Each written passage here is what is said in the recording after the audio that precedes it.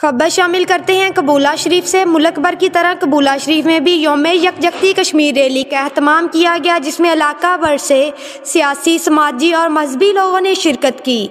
Rally नारा, तकबीर और सालत के की गूंज में मेन बाज़ार कबूला से गुजर कर गोला चौक पर अख्ताम पजीर हुई। रैली में कश्मीर के तरानों से हर आँख अशकबार हुई।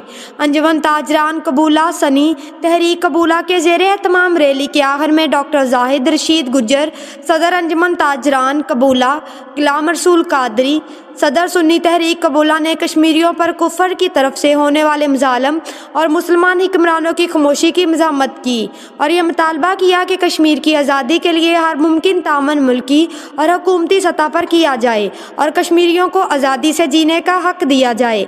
अलामा मोहम्मद नदीम कादरी ने तलावत और नात से प्रोग्राम का आगाज़ किया। हाफिज़ उमर फ़ारूक और हाफिज़ मजम्मल ने जलूस के इंतज़ाम को संभाला। मिर्ज़ा मोहम्मद अनवर तहसील सदर सुन्नी तहरीक आरफ वाला और अलामा मोहम्मद इमरान वट्टू, नाजम आला जमात अहल सुन्नत कबूला की तरफ़ से रैली की कामयाबी पर सुनी तहरीक को मुबारकबाद पेश की और सुनी तहरीक की सिक्योरिटी पर इनका शुक्रिया अदा किया। Hafiz Mohammad Azam, deputy bureau chief J N news आरफ वाला